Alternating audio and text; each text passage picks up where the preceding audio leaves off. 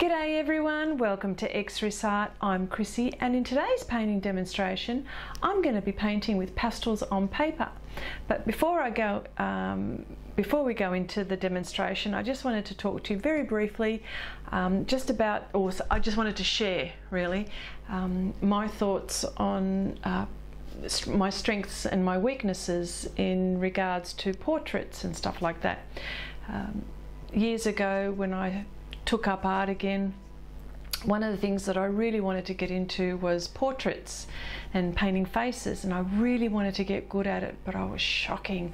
Um, you know, I would be painting an eye and it'd be all warped, or a nose would be wonky, or, you know, even got to the point where um, I was. Um, painting faces with eyes closed because I was, you know, just a bit scared of how I didn't even wasn't sure how to do the eyes properly. But I thought I can't I'm not going to get very far if I do this. So I thought, you know what?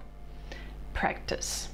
So what I did was I decided to practice and get better at it and I've had a lot of misses and some hits on the way and I'm sure that and I know that I've certainly improved from when I first started uh, but you know it's it's practice and it's it's admitting that you know your strengths and the weaknesses and I'm going to try to hone in on all my weaknesses and try to improve and you know there's um, some terrific artists out there and they do some awesome work and you know good luck to them. They've done a, uh, they do fabulous work and I learn from them.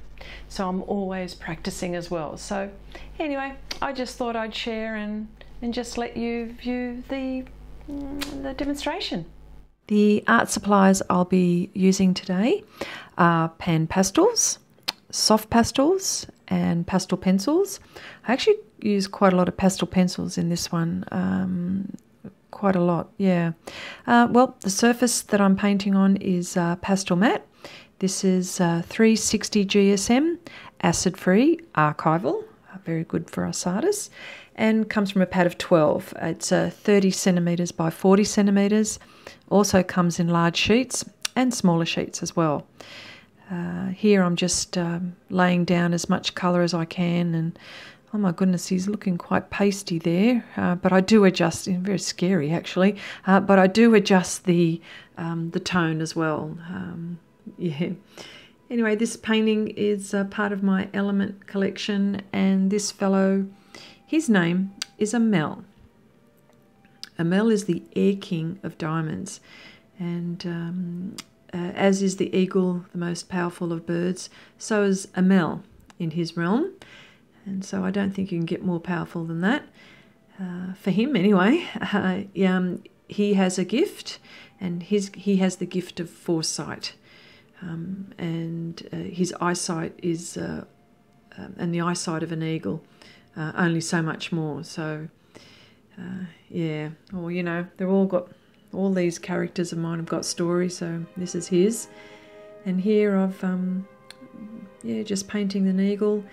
Uh, I haven't done very many animals, and just I know um, hopefully I'll get um, better at it. Um, but quite enjoyed doing it, you know. Um, and I'm just trying to follow my reference, pay careful attention. And it's not, I'm not painting every feather exactly how it is in the reference, but I'm just making sure that, you know, all my strokes are going the right way and the feathers are sort of pointing in the right direction. But yeah, I had a lot of fun doing this. But anyway, I'll um, leave you to uh, view the rest of this uh, demonstration.